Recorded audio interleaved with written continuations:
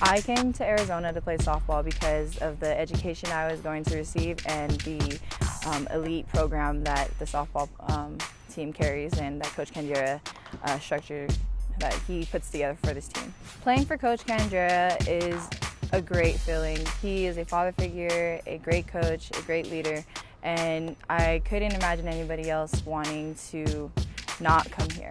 This is the best school to come to. U of A um, represents more than your typical athlete. It represents good people, a good environment, good community, and it's there's no words that I can say other than it's just great to be a Wildcat.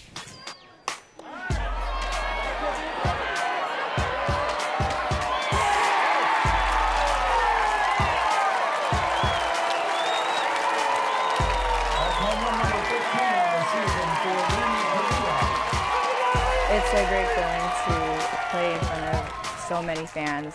Our fans are a huge support group.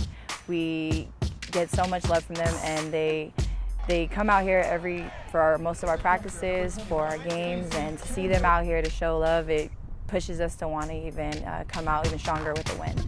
To get a national championship this year would be an honor because of all the many other national championships they have.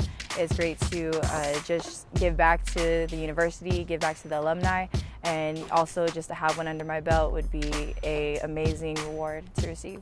The term bear down means to me that you never give up. Whenever you fall or fail, you always come back stronger than before and to just persevere through everything and anything.